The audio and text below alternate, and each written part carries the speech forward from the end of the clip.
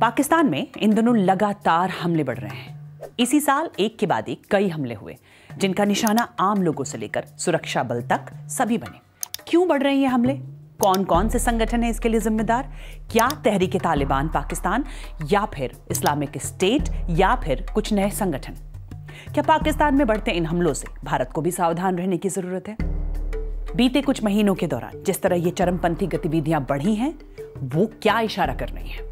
एक तरफ़ आर्थिक मुश्किल से जूझ रहा पाकिस्तान है और दूसरी तरफ़ राजनीतिक अस्थिरता भी है। पाकिस्तान में इस साल चुनाव भी होने वाले हैं और उस पर मुश्किल बढ़ा रहे हैं। वहाँ होने वाले ये चरमपंथी हमले। तो आखिर पाकिस्तान में ये हो क्यों रहा है? और इन हमलों में पुलिस और सुरक्षा बलों को खासतौर पर निशाना क्यों बनाया जा रहा है? अभी हाल ही में खैबर पख्तूनखा में एक रैली पर हुए हमले में चौवालीस लोगों की मौत हुई, सौ से ज़्यादा लोग घायल हुए।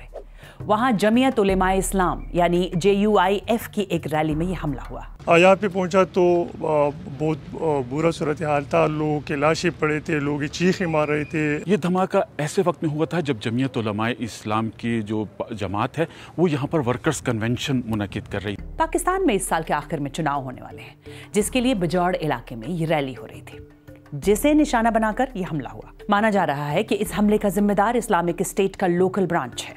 और टीटीपी यानी कि तहरीक तालिबान ने भी इसकी निंदा की है।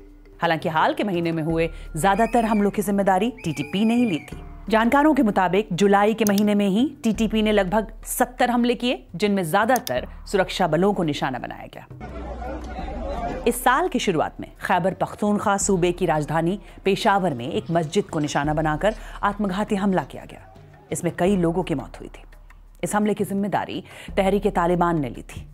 फरवरी में भी हथियारों से लैस टीटीपी चरमपंथियों ने कराची पुलिस प्रमुख के कार्यालय पर धावा बोला और अप्रैल महीने में क्वेटा के कंधारी बाज़ार में हमला हुआ। पाकिस्तान के अखबार द डॉन की रिपोर्ट के मुताबिक 18 जून 2022 से 18 जून 2023 तक, यानी सिर्फ़ एक साल में, इस प्रांत में पैंसठ आतंकी हमले हुए, जिनमें 15 आत्मघाती बम विस्फोट भी शामिल थे। तो आखिरकार खैबर पख्तूनख्वा इलाके में ही हमले क्यों हो रहे हैं? दरअसल खैबर पख्तूनख्वा प्रांत की सीमा अफ़गानिस्तान से लगती है। पाकिस्तान के बॉर्डर इलाकों में तहरीक तालिबान काफ़ी एक्टिव है। ये ग्रुप अफ़गानिस्तान के तालिबान से अलग है, लेकिन उसी की जैसी विचारधारा रखता है।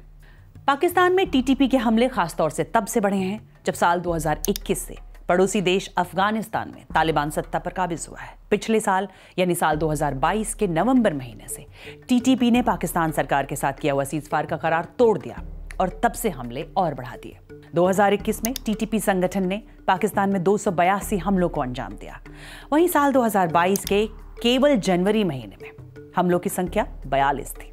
लेकिन ऐसा नहीं है कि पाकिस्तान में हमलों को सिर्फ़ टीटीपी अंजाम दे रहा है। Islamic State of Iraq and Levant Khorasan, यानी आईएसआईएल के भी यहाँ हमले करता है। तालिबान इस संगठन को अपना प्रमुख प्रतिद्वंदी मानता है और खबरों के मुताबिक अलकायदा भी यहाँ फिर से मज़बूत होने की कोशिश कर रहा है। यूएन की एक रिपोर्ट के मुताबिक, तालिबान के चरमपंथी संगठन अलकायदा और टीटीपी के साथ रिश्ते मज़बूत बने हुए हैं। इसके साथ ही टीटीपी अफ़गानिस्तान के तालिबान के साथ भी मिलकर पाकिस्तान में हमले कर रहा है। इसके अलावा भी जानकार मानते हैं कि कई और चरमपंथी संगठन पाकिस्तान में फ़िलहाल एक्टिव हैं। इस समय पाकिस्तान के अंदर लगभग लगभग सात से आठ आतंकवादी ग्रुप हैं जो एक्टिव हैं।